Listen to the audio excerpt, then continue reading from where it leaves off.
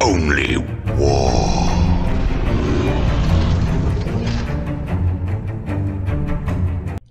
What is up, gents? 40k Dirtbags here. We are doing an updated Grey Knights tactical video of things that have been working, list ideas, and kind of group combos that you're going to be trying in 10th edition upcoming games.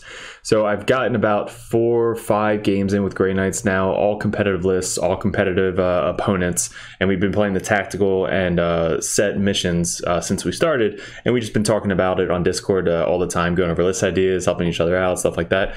So um, that's what this whole video is going to be about, is kind of like ideas and tactics of the updated version compared to the one that we did prior uh, before we got to run and test the new units. So after testing the units, I'm going to tell you what I've been seeing that's been working and what are things you should be gearing towards moving forward into the edition. So first off, thanks for clicking on the video. If you guys are new, uh, we do run Grey Knights, uh, Chaos Space Marines, Death Guards, Sisters, Custodes. Uh, those are the main armies that we play on the channel. And also we play against all the different armies on 40K. So if you guys are 40K, definitely hit the subscribe and like. Uh, we've been growing super fast lately, and our Patreon has been hit uh, over $500 a month. We're already close to 600 already. Uh, we're giving away all this shit to my left here. Uh, this is going to be our first Patreon live stream giveaway. So if you guys are Patreon, you guys have a chance to win all these, uh, or you know, any one of these things when we do a raffle drawing. So if you guys are Grandmasters, competitive, just Justicar, you guys are going to have uh, points based off of how many you're, you're putting in. And then if you guys are putting a dollar up, you get early access to all the videos, and you still have a chance to join and win some Dirtbag dice as well as some Dirtbag stickers. So appreciate all my Patreons. Thanks for supporting the channel.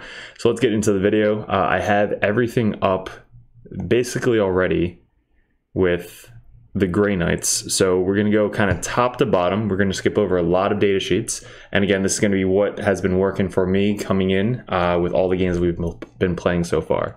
So let me zoom in on all this stuff so you guys can see. Now, I love that they put the chaplain up front because we don't use the chaplain.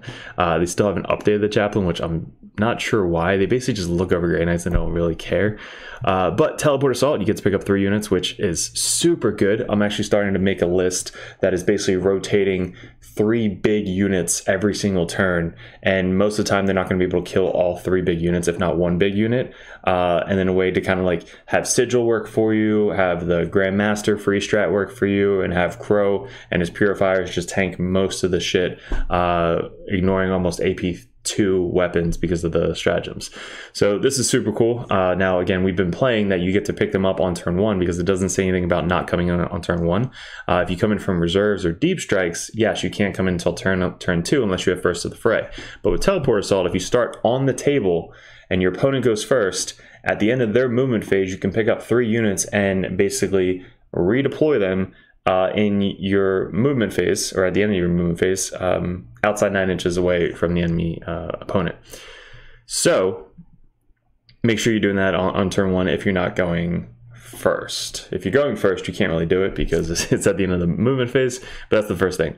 Then we have uh, teleport shunt. This has been, you know, getting across the table pretty pretty reliably. I've been doing this with my strikes. Strikes in the command phase, basically advance, uh, move six inches, get uh, sticky objectives, and then on their movement phase, first turn, you just run them 12 inches to another objective and just camp until the next uh, next turn. So basically, just 12 inch move strikes is pretty freaking good. Uh, and then all the stratagems. So the stratagems that I've really been uh, using mostly is I've used this once on Titan on um, uh, Knights, and I think I did four four or five sixes with all my paladins. Uh, so it's not bad when you have a 10 man brick of terminators or paladins that get, you know, four attacks each.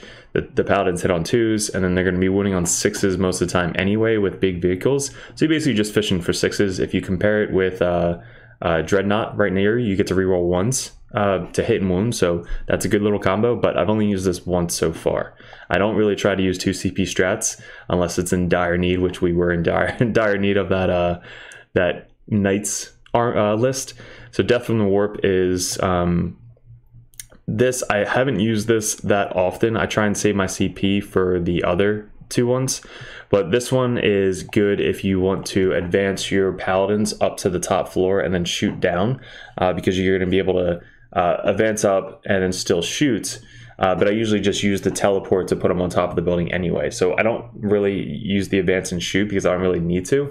Um, you could use this if you come in with Crowe uh, in their deployment zone. Uh, I usually come in though within three inches with Crowe on turn one or two, uh, and then they, they, just come in uh, for one CP and just nuke either characters or something off the table uh, with all of their anti-infantry two plus. And then if the opponent uh, overwatches you, which most of the time they do, they kill at least one model potentially one maybe two that way all of you guys hit on two anyway because they're purifiers so you don't really need this strat unless you're specifically like launching up your your terminators or paladins up to a second floor to get plunging fire. If i'm not really getting plunging fire i'm not going to waste my 1 cp on this strat this one I use all the time. Uh, so this is going to get us behind enemy lines pretty easily. This is going to get us to be able to steal objective markers pretty easily because you can fit a lot of models within three inches on an objective marker if they have one or two models on there already. Uh, you see this in a bunch of my videos where I'll, I'll drop in three or four or five guys on an objective and they only have one vehicle or one guy on that objective.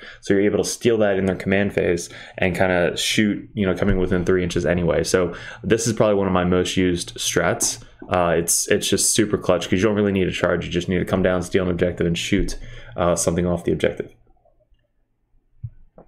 Haloed in Soulfire, this is really good for the free CP strat with your Grandmaster. I've used this a bunch of times. This is just so they can't get shot after they use Teleport Assault or arrive from Deep Strike uh, unless they're within 12 inches. So I haven't spent the CP for this. I did uh, the one CP for the Grandmaster in my first video, uh, but most of the time it's really free with the Grandmasters walking uh, with this. So I usually don't have two CP. I usually spend it on this uh, and then this and this. So my three most used strats are come within three inches, uh, Mist of Deimos, and True Silver Armor. These three strats are incredible for Grey Knights. So if I can save my CP and not really do these three, and more focus on these three, these are going to be able to uh, make you last a lot longer and be more defensive, teleporting all over the all over the map. So Mist of Deimos. Some people ask if they don't move, can you still proc it? No, they have to actually move or end their move uh, within nine inches of you.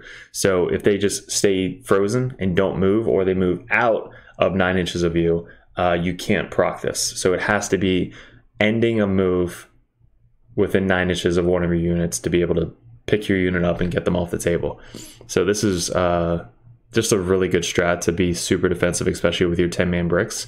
So Crowe comes down, you know, within three inches, tries to block off most of uh, the units, and then they shoot and kill a bunch of characters or whatever you got to do. And then their whole army can't end within nine inches of you, or you usually get the fuck out, out, out of dodge. Now, to combo with that is you have this where if they don't move within nine inches of you, you can then just save your one CP that you were going to spend on this one instead. So it reduces the uh, AP of all the attacks by one.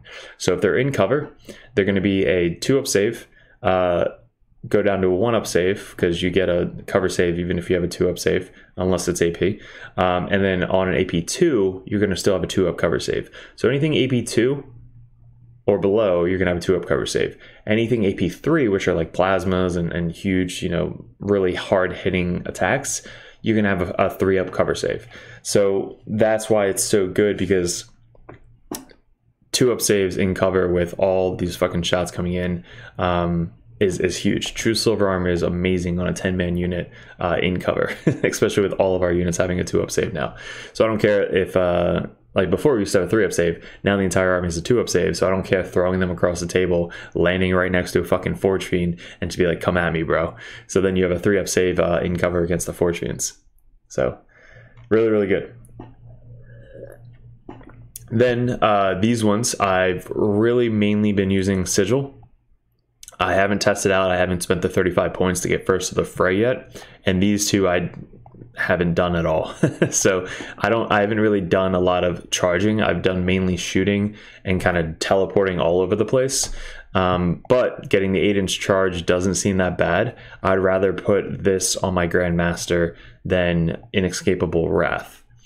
So the characters that I've been using is like a, a, a Libby, a Grandmaster, Crowe, and we did Draigo once. I used a Brotherhood Champion once as well. So Brotherhood Champion is with the strikes. He has to be on the table, so giving him you know sigil of exigence not really good. He already has fight first, so the charges and stuff doesn't really matter. Uh, first of the fray would be good for like a 10 man unit or um, like Draigo can't use it, but a Grandmaster first of the fray with 10 paladins, uh, spending one CP to get um, the teleport thing you come in turn one. It's just, it's, it seems good. Again, I haven't tried it, but mainly Sigil is going to be almost a must have in every single list. Even if you put it on a solo Libby, this is such a clutch um, power to bring into uh into the into the effect. So I usually put this on my Grandmaster. So, and I'll go over the Grandmaster strats uh, for that. So let's go down.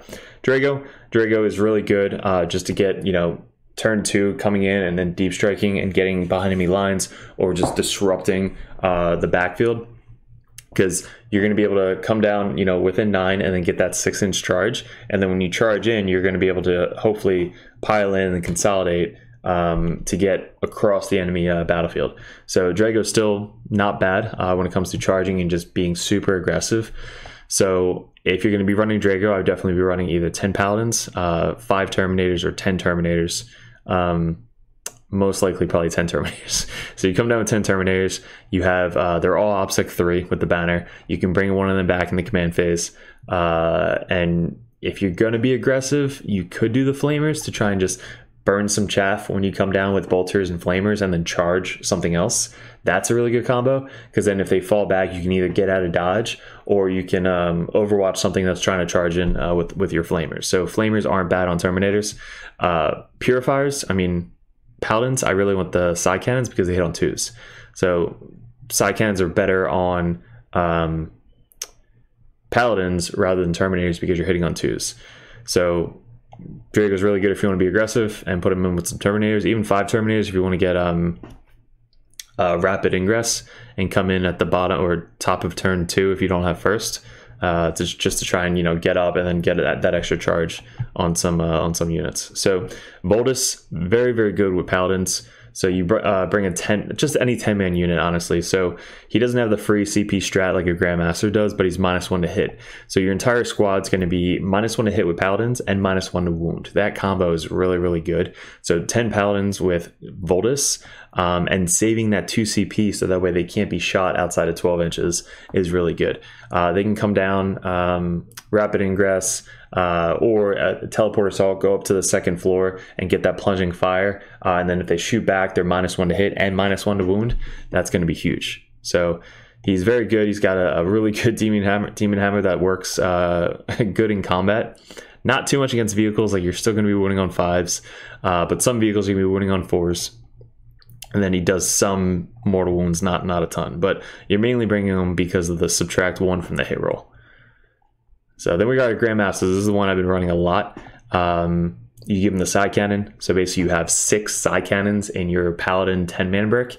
You have five in the unit. Uh, for every two, you could bring, or every five, you could bring two. So that's four. And then the banner can get upgraded to bring an extra psycannon. So you're at five psycannons for Paladins. And then the Grandmaster brings an extra one. So basically you're going to be able to go 18 psycannon shots all hitting on twos. If they're next to a uh, dreadnought you can reroll ones and then you're winning on twos for most infantry rerolling ones. Uh, if you're shooting bigger targets like possessed or terminators you're winning on threes reroll ones. So these guys are really good at killing heavy infantry uh, even at two damage. Like the minus one AP if you're plunging fire minus two AP if they're terminator and they have three up saves and cover. So three up saves are going to kill a bunch of Terminators and Possessed. Uh, possessed having a four up save is just disgusting, like just killing all the Possessed really quickly from your uh, from your plunging fire Paladins. So I really really like the Grandmaster. Um, he gets to do this with the sigil. So basically, turn one or two when he pops up on the second floor to shoot plunging fire. You can then uh, just wait till sigil procs. Um, if they don't shoot them, or if they shoot really like small fire into them, you don't have to proc the sigil. You just take it, uh, and then if like big forge fiend is shooting at him, you just sigil and then go back down to the bottom floor or somewhere out of line of sight, or go across the table where they can't shoot you or can't see you. Um, you know, once per game, and then your turn, you can move up and charge something. You can move up, shoot something, charge something else, uh, and then you, if you spend one CP, you can get out of dodge come back in on the top floor again, use plunging fire, and then proc this once per game for zero CP, so that way you can't be shot outside 12 inches. So that's just think of that 10 man paladin brig jumping all over the place, not being able to be shot at is fucking scary for the opponent. Um, and you ignore all this stuff. So you ignore the minus one damage, uh, you ignore minus one to hit, you ignore any stealth effects, you ignore any of that stuff. You don't ignore lone operative. Like obviously you, you can't shoot lone operative, but if they have stealth or something like that, you ignore the minus one to hit. So him in a paladin squad, super super good. Um, I really really like this guy. So he's probably my favorite uh, leader. Grandmaster, skip, not worth it. I'm not even gonna go over it. Crowe, still super really good character. Uh, I love. I've been playing him every single every ever since he came out. Add one of the, the attack characters of Purify Flame for the entire unit. So your 10 man Purify Break comes in within three inches. That's 20 Purify Flame shots. If they overwatch you and kill a guy, that's 18 Purify Flame shots hitting on twos, two up uh, to wound, minus one ignore cover. Then you have four flamers going in, uh, 46, minus one no cover, strength six. Then you have all the bolters, right? And Crowe alone has four um, Purify Flame shots. So it's 18, 22 Purify Flame, all the bolters and all the flamers coming in, most of them ignoring cover and AP1. So you can even put them up on um, second or third floor to get plunging fire for this. Uh, like the, the AP2 flamer or the uh, AP2 uh, ignore cover purify flame is just such a good combo. I wouldn't take purifiers if I didn't take Crowe. And he's got this thing which doesn't really happen until he's by himself, which kind of sucks. Once per turn, the first time saving throws failed for this model, the damage characteristic changes zero. So you could kind of fuck some people up with that if they're like planning on just shooting with a melta gun or something. Uh, you fail the four up save, then boom, hey, I, I, uh, I get, I, it's turned to zero, right? Um, he's got precision, devastating wounds, uh, precision automatically on a melee weapon is really good, uh, and it's not psychic, so you can get around that psychic defense. Strength six, AP two, two damage. So still really, really good for him. Captain Stern, I haven't tried. Um, but he would be the combo if you wanted to go with the additional uh, mortal wounds with the devastating wounds. So him with like a 10 man Terminator brick um, would be cool. I haven't tried him, so I can't really tell you too much about him. I would, that, but that's the only combo is uh, the one mortal wound plus the devastating wounds for uh, a unit. But I would definitely go a 10 man unit rather than a 5 man because that 2 CP isn't really worth it. That 2 CP would only be worth it if you have a 10 man and combining it with uh, Brother Captain Stern. Then we got Brother Captain. I haven't tried this guy uh, yet. I'd rather go the Grandmaster, but leading units like weapons equipped have the sustain hits. So basically, all of your shots have uh, exploding sixes. Uh, each time this model makes an attack with a psychic weapon, you can reroll the wound roll. So basically, anytime he shoots with his psycannon, he can reroll the wound roll, which is which is okay. Uh, I would rather have the Grandmaster ignoring everything and once per game two CP strat for free. Brother Champion, super super deadly. I actually tried him the other day against Knights. Him into Knights not the best, but him into fucking anybody else is insane. He automatically has the precision. He gives the unit fight first, so if they charge in, you automatically fight before they do. And if there's a character in the model uh, unit, you automatically have precision, and you get to reroll all hit and all wound into that character um, with precision. So this is this guy's just insane. 85 points. Uh, two up, four up. Holy shit, he's got four up in one save uh, with five attacks. Precision. Like, this guy's awesome. So if I had an extra 85 points and I wasn't bringing Assassin, this guy would be my, my go to. Fucking love this guy. Um, maybe trying out three of these guys in one list it would be super fun. I might test that out. Uh, then we got the Libby. Uh, I mean, the, the, the way to go right now might be fucking three librarians. I still haven't tried three librarians. Somebody let me know if three librarians is the way to go. Like just go all terminators, three librarians, uh, Draigo, Crowe, Purifier, and and what and fill in with Chaff because we can't run Purgation anymore. So you're gonna have a lot of extra points if you want to trade Purgations for um, Brotherhood Librarians. Running solos of these guys, putting a sigil on a, uh, on this guy is pretty cool. But even running solo and just coming down, you know, behind a a, um, a wall that you can only see one unit that you really want to put a um, what is it, Vortex of Doom into. This gets around lone operative. So him doing this, coming down just killing an assassin or killing lone operative uh, for free, um, is is cool. So he might make up his points back. He's only only 110 points, so he might make his points back up just from one vortex of doom killing a character or a, a lone operative, something like that. So he's not bad uh, solo wise. He's got a two up, four up, five wounds, uh, toughness five. So I mean, he, he's he's going to be pretty tanky if he's landing in cover, which almost everybody gets covered now. So, uh, brother Tech Marine, Dread Knights are dead, so it's like maybe I would combine this with the Storm Raven. So what you do with the Storm Raven or Thunderhawk, gunship is this guy starts on the table. Uh, he gives the Thunderhawk uh, plus one to hit in the command phase. He then hops into the Storm Raven, so the Storm Raven is now hitting on twos, or the Thunderhawk gunship is hitting on twos, uh, and then it flies and does whatever it has to do. Next turn, you can get it out, heal the Storm Raven. Um, you can't give it plus one to hit anymore, but at least you can get out, heal it a little bit, uh, go do an action, you know, somewhere else or, or behind enemy lines, uh, and then the Thunderhawk or Storm Raven can just fly off and go do, do go do something else. So that would be pretty cool, just to combine with a flyer. Um, or a land raider, same thing. You just basically give the land raider hitting on twos, hop inside of it, and then move forward. Chaplain, I would skip over. Uh, it's not a leader yet. Can't join any units. But the plus one wound is not better than everything else we already went over. Uh, then we got the Brother Terminator Squad. I've run maybe two of these guys before, but being able to bring one term like Grey Knight Terminator back every single turn is sick. I wish it was the just the command phase but it says in your command phase. Uh, so you have to wait till your command phase to bring a, a Terminator back. So having five man units of these is really good because if you have a 10 man unit, you could still only bring one Terminator back. So if you have a, a bunch of five man Terminators with librarians running around, it's going to be really hard to remove them off the table, um, especially if you give them limited access and you're hopping around all over the place. So if they end within nine inches of you, you can just get, get the fuck out of Dodge. But if they shoot you, you can kill like the closest Terminator. Then in your command phase, you make one two inches forward to the extent to extend the the charge range. So you're making it within coherency, two inches forward plus the base is about two inches. So basically, you went from a five inch move to now a nine inch move uh, just by bringing a Terminator back. And any leader that they're in, they get uh, lethal hits on the charge. So that'll be that'll be that'll help out with uh, higher toughness targets like tanks. Uh, strike squads really good, like putting them uh, at least one one unit of strike in every single list. But I put a psycannon on them. Uh, I uh, don't really need the flamer. I want to you know be able to shoot one time or three times from afar. Uh, but uh, sticky objectives is really because we're hopping around all over the place. Uh, they can then scout out move makes let's say you have first turn you scout out move make something sticky and then uh, run somewhere else so that way so let's say you go, let's say you go second. All right.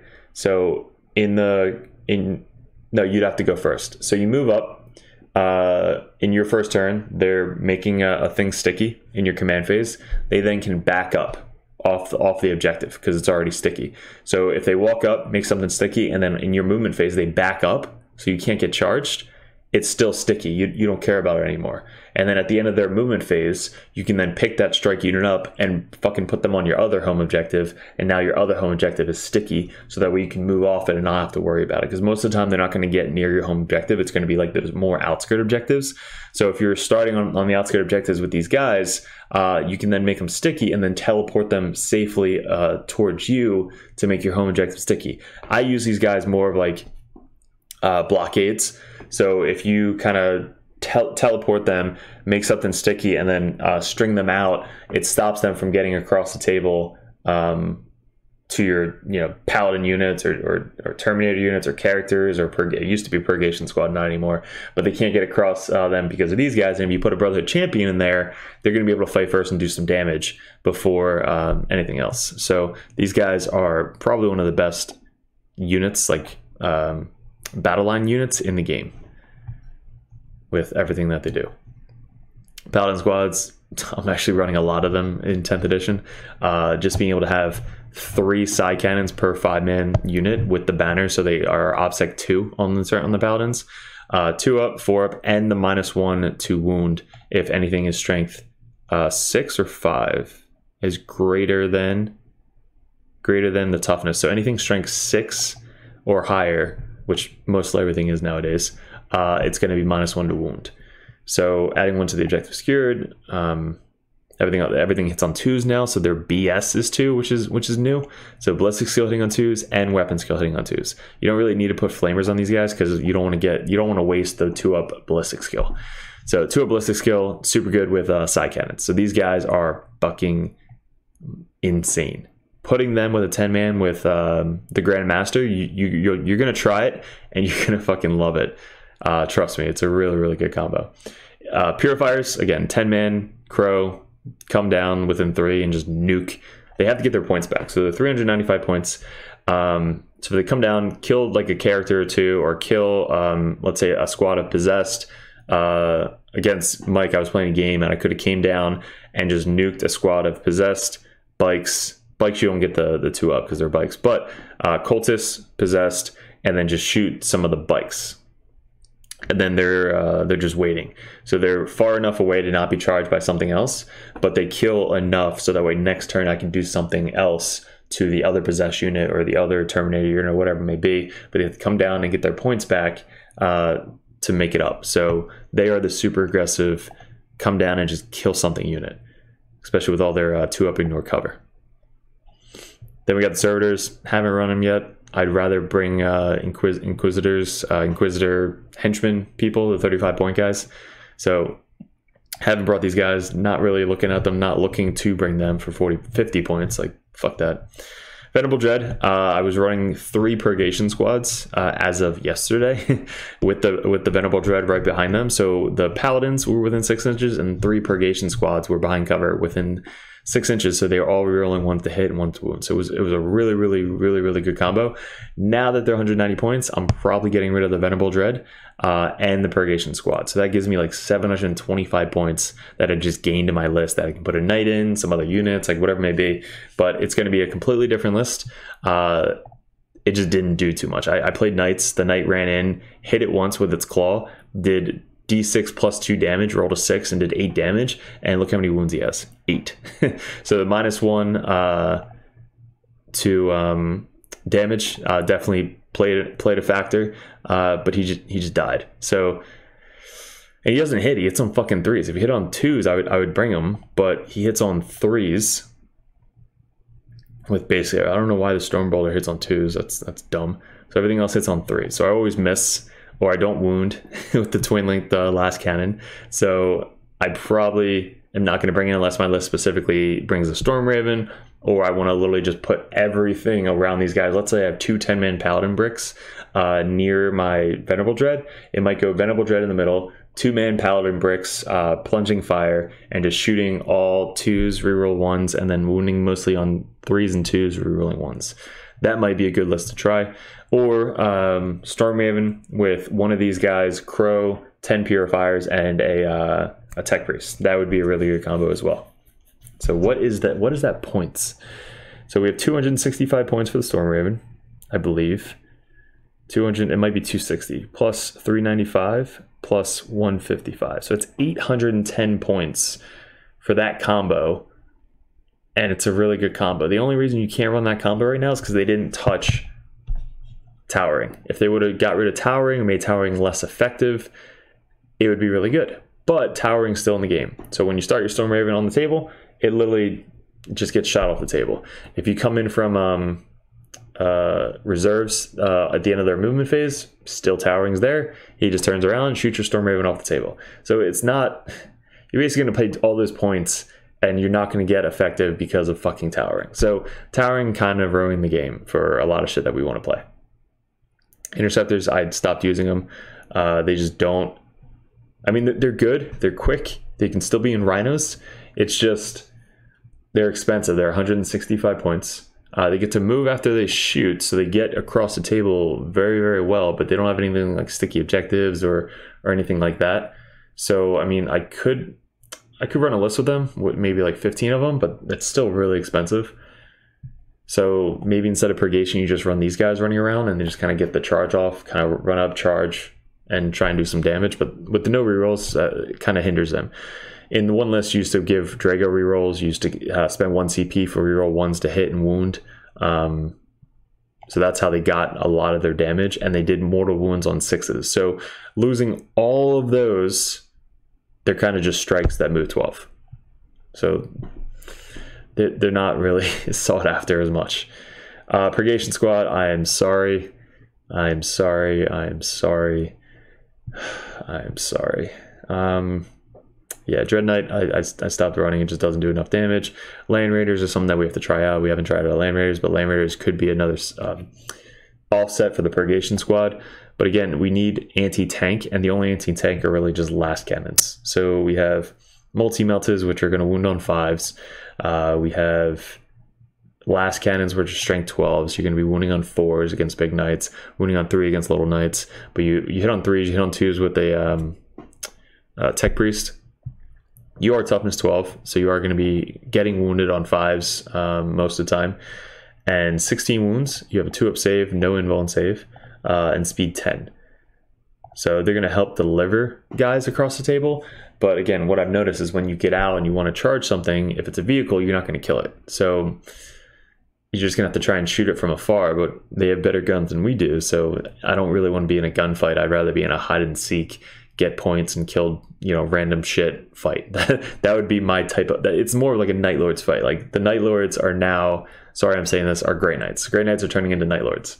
Uh, just kind of run, hit, run away. That's that's basically what we're doing in 10th edition.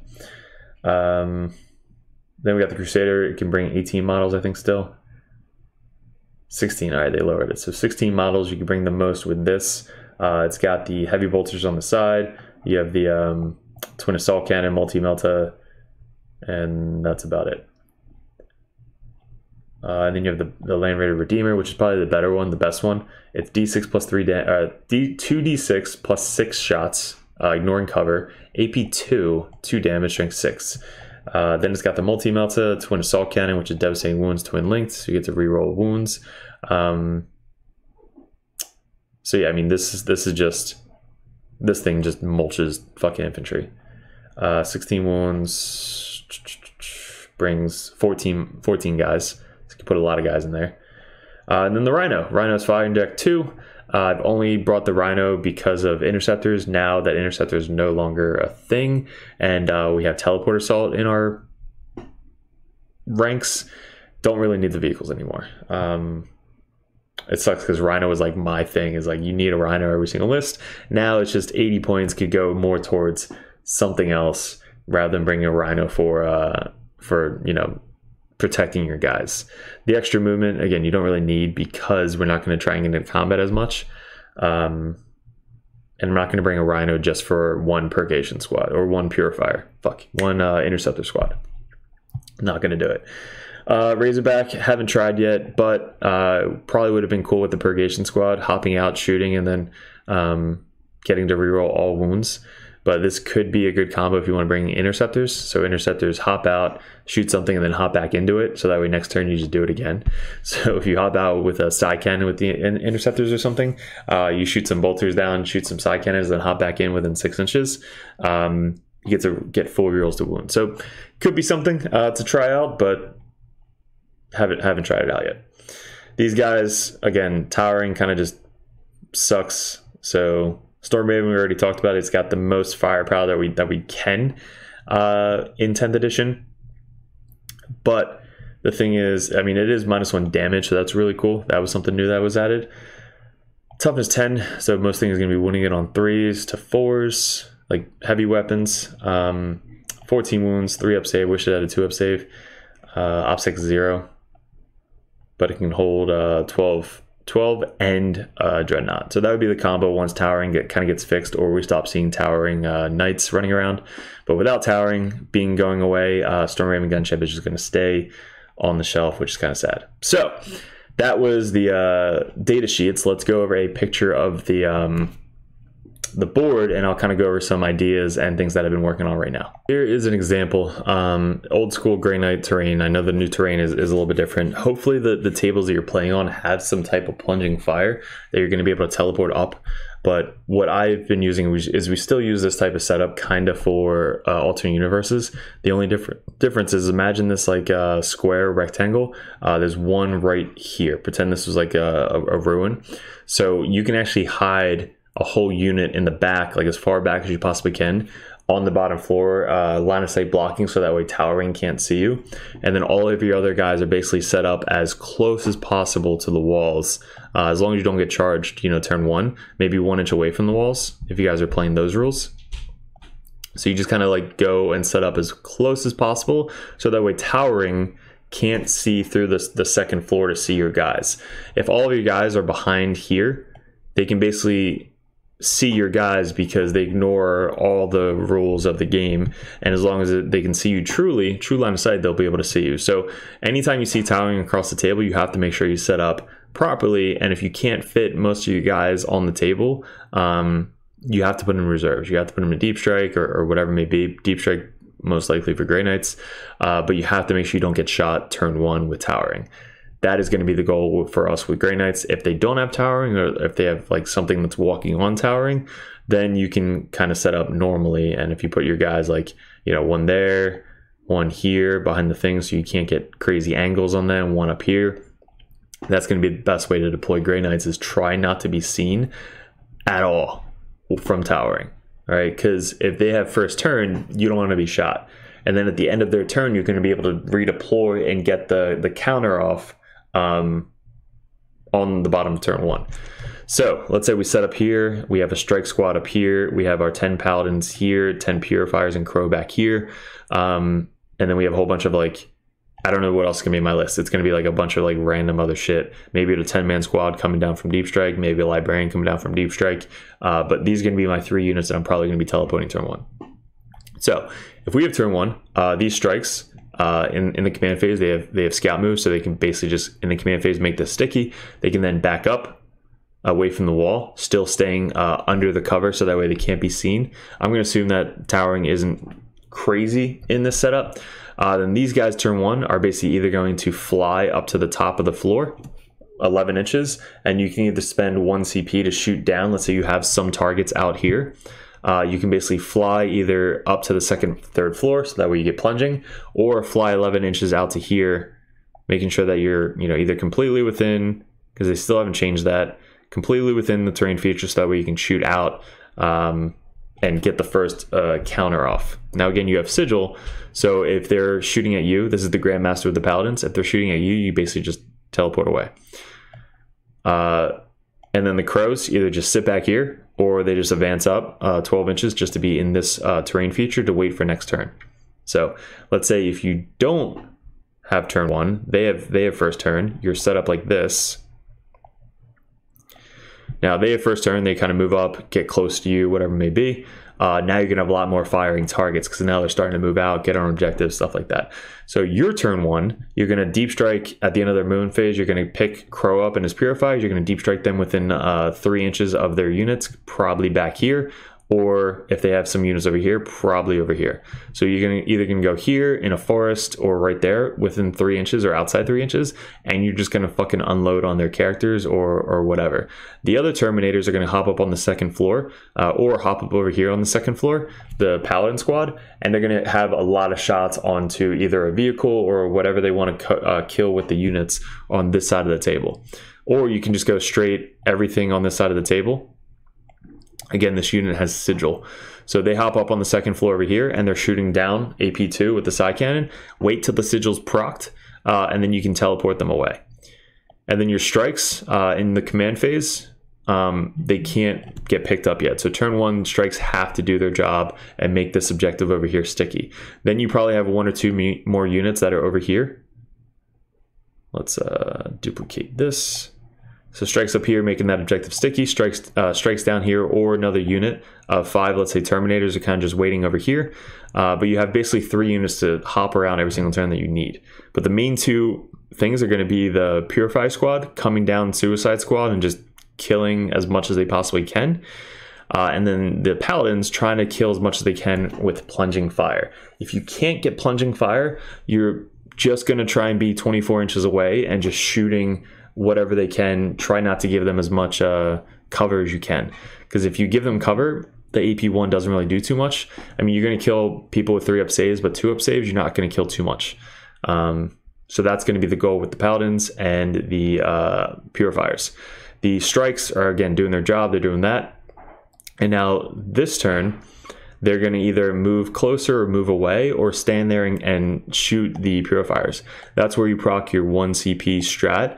So that way they get uh, plus one or minus one to AP. So they're uh, two up save in cover and then minus one to AP. Even if they have ignore cover, most of the ignore cover stuff only goes up to AP2. So you're going to go down to AP1. Uh, so then you still have a three up save.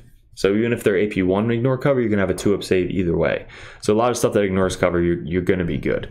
Um, and then the paladins, if they have sigil, you basically proc it and you hop out out of line of sight, maybe to here, uh, maybe over to here, maybe back to here, or maybe just behind the wall or down below.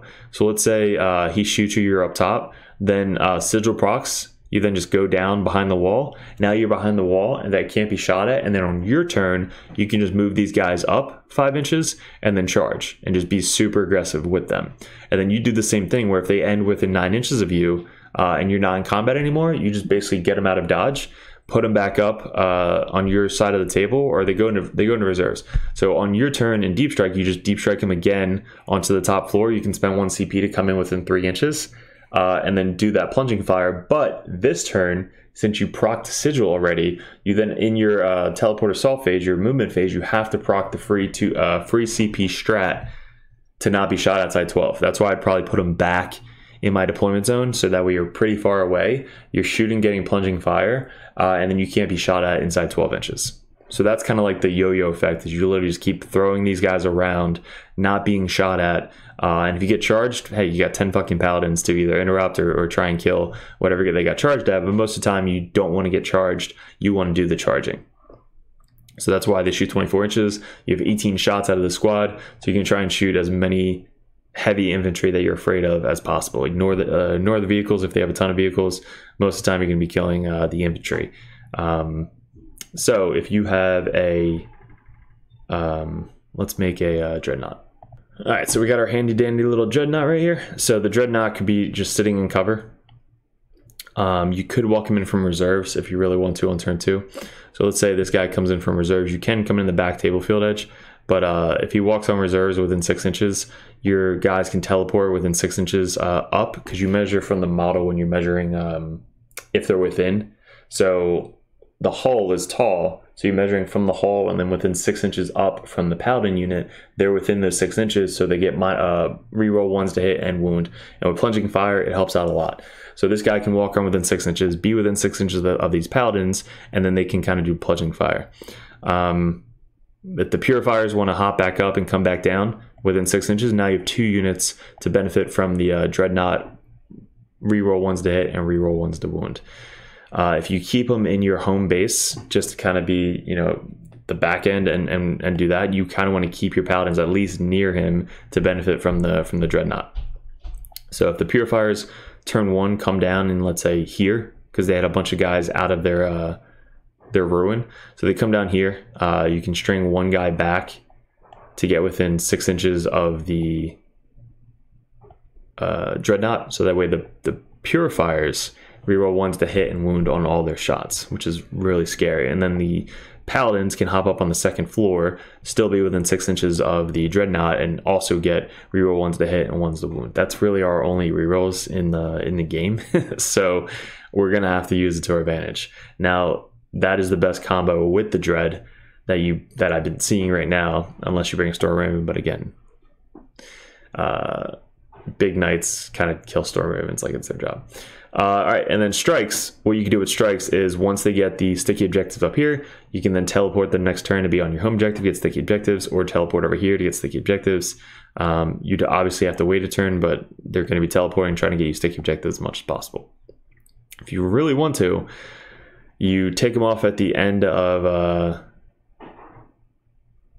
or what, what really helps, I did this once, is they walk out to be outside of the um, objective and then when their guys walk up to the nine inches, you then just get them out of dodge. and now they have nothing to charge.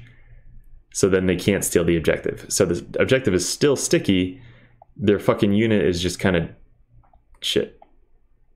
It's kind of just chilling here because they can't charge anything. Uh, and your strikes then come down next turn and either be on another objective or in their backfield and kind of you know causing some havoc in the back. And then your paladins are basically just coming down and just shooting the units kind of in the open. So you can use your strikes to be kind of like a come at me, bro. And then if they do, you're like, fuck, I'm, I'm running away. uh, that could be a strat. Or if you kind of run them forward in front of the objective and they do happen to charge you, they have to be within base to base. And when they consolidate, they have to be within base to base. So they can't kill or they can't consolidate around or charge around your strikes to get on the objective. So that way this objective is still safe for at least one more turn because as long as they're not within three inches of it, they can't consolidate towards it. If they can't get into another unit or if they can't get on the objective, they are literally stuck right here. So if they charge your, your guys, you don't live, uh, they then die. But now these guys can't pile in anywhere or consolidate anywhere, so they're kind of stuck in the open. So your fucking paladin squad just comes in within three, you know, up on top of the second floor, and then they just blow up that unit. so that that's that's really good. So that's another tactic with the strikes or the ten man um, purifier squad coming down and just being with outside of three inches. So if you want to come down, let's say one's here, you know, and you're kind of blocking in their uh, their army kind of like this. So you're blocking in their entire army with your purifiers. So this is this is them, right? That's their enemy unit. This is your purifier unit coming in within three inches or right outside three inches. They then shoot everything. They can't move because if they do and end within nine inches of you, you're gonna just get out of dodge and save your 395 point unit. So I've done this before, which has actually helped a lot.